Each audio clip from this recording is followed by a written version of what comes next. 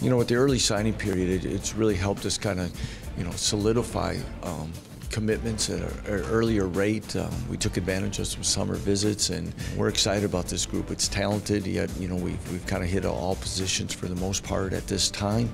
As you kind of see these guys being your future, it's a it's an exciting time, an exciting day.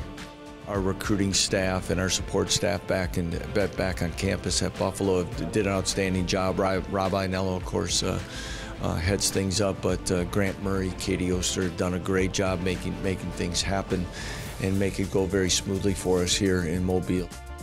We, we want to be a, a recruiting program in a really a six-hour radius, and then our then then the places that we're going to reach out to have, has been. Uh, you know, the state of Florida and, and, the city of Atlanta. That, that's pretty much where, where we want to be and have kind of honed in now as we uh, continue, uh, you know, our fifth recruiting class now.